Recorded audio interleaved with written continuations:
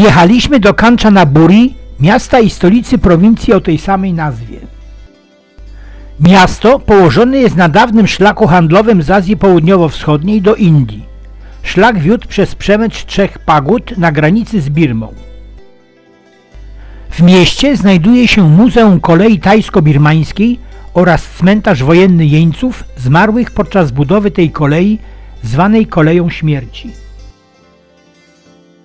Obok cmentarza aliantów jest również cmentarz Azjatów, cywilnych robotników przymusowych, który właśnie mijamy.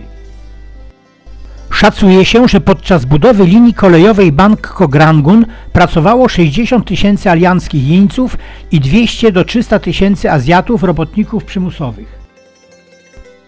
Cmentarz Jeniecki sąsiaduje z Muzeum Kolei Tajsko-Birmańskiej, interaktywnym centrum i Muzeum tzw. Tak Kolei Śmierci. Niestety w środku nie wolno filmować ani robić zdjęć, aby pokazać to miejsce wstrząsające, ukazujące okrucieństwo i bezwzględność Japończyków. Przez okazałą bramę wchodzimy na teren cmentarza, na którym spoczywa blisko 7 tysięcy jeńców zmarłych z wycieńczenia, chorób, niedożywienia lub zamordowanych przez strażników japońskich. Kodeks samurajski nakazywał japońskim zbrodniarzom bezwzględne, pogardliwe i upokarzające traktowanie aliantów, którzy oddali się do niewoli.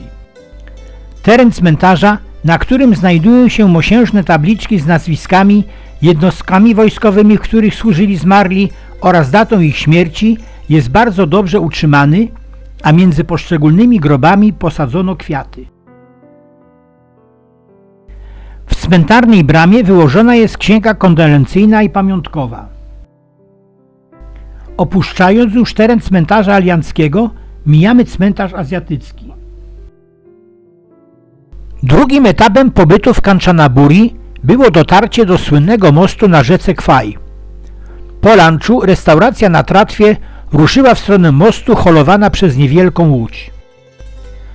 Rzeka, po której płyniemy, nazywa się obecnie Kwaejaj i ma długość 280 km.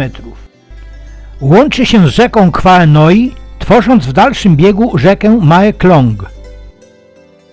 Wzdłuż rzeki widoczne są inwestycje z udziałem kapitału chińskiego, o czym świadczą te pagody i chińskie smoki na niedokończonym hotelowcu.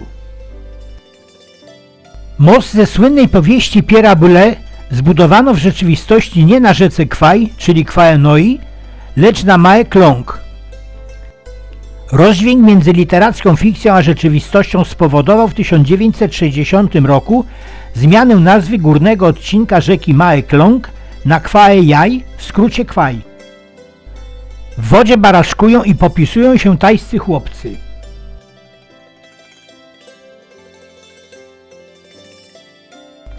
Miejsca nad rzeką są na tyle atrakcyjne, że buduje się tu również tajskie ośrodki wypoczynkowe. Z uroków tajskiej zimy korzystają głównie Europejczycy.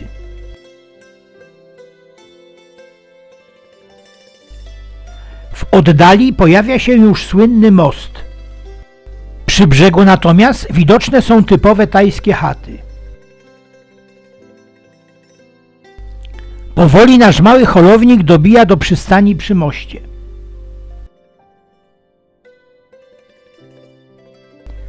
Most, który widzimy, zburzyli alianci, a odbudowali po wojnie w ramach reparacji wojennych Japończycy. Po równolegle budowanym drewnianym moście leżącym w dół rzeki pozostały już tylko pale. Nasza pływająca restauracja wraca na miejsce, z którego wypłynęła.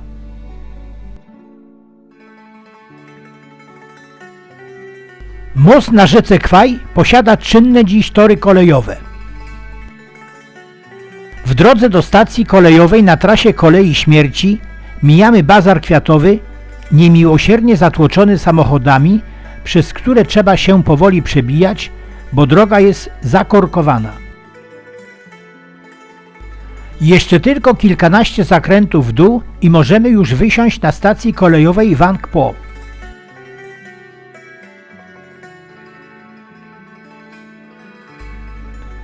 W budynku stacji znajduje się oryginalne wyposażenie z tamtych czasów, gdy budowano 400-kilometrowy szlak łączący Bangkok z Rangunem w Birmie.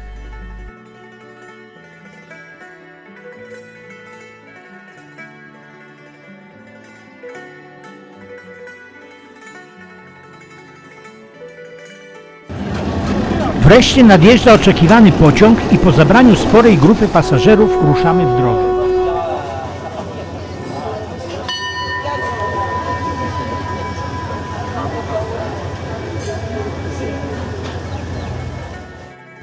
Początkowo trasa wiedzie przez tereny nizinne i płaskie, na których uprawiany jest głównie maniok. Część bulw jest już wykopana. Wzdłuż torów leżą stosy podkładów kolejowych, które układali w czasie wojny jeńcy i cywilni Azjaci. Mijamy kolejne przystanki na trasie. Za chwilę wjedziemy na jeden z najtrudniejszych odcinków, wąski wiadukt wzdłuż doliny rzeki Kwaenoi.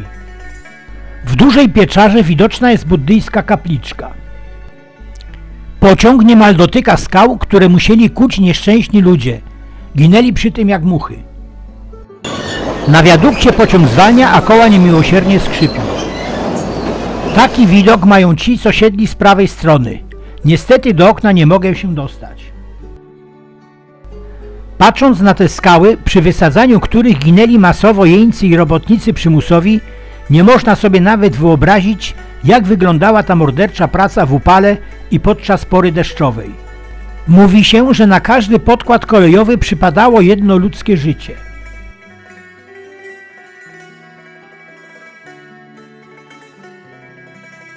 I znów wjeżdżamy na płaski teren z uprawami bananowców i manioku. Ziemia jest tu nie czarna, lecz czerwona, pewnie od tlenków żelaza. Ta jasna plama to ściernisko po zrzętej trzcinie cukrowej. Tu kończy się nasza podróż trasą kolei śmierci. Po raz pierwszy mam okazję zobaczyć jak wygląda papaja. Chociaż ma pokój drzewiasty jest to bylina. Wysiadamy na stacji Van Sing, gdzie czekają na nas autokary.